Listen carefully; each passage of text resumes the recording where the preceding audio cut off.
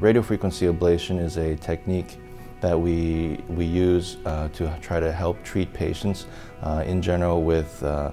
pain in their spine from metastatic disease from their cancer. In a minimally invasive technique, we insert these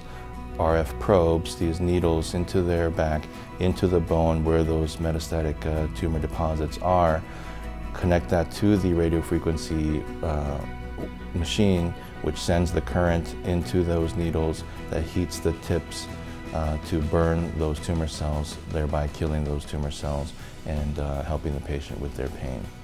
The uh, patient that would be good for a RF ablation of uh, metastatic disease would be a patient who has cancer that has spread to their spine uh, that is causing them significant pain. This would be uh, another way of trying to treat that patient's pain from their cancer uh, by, by directly uh, putting a needle into that tumor uh, and burning it. I believe WVU Medicine Neurointerventional Services is on the cutting edge of uh, treatments uh, for the brain and spine. Um, we are active uh, in research, we are active in national meetings to stay current, to participate in the most current um, treatment available or possible.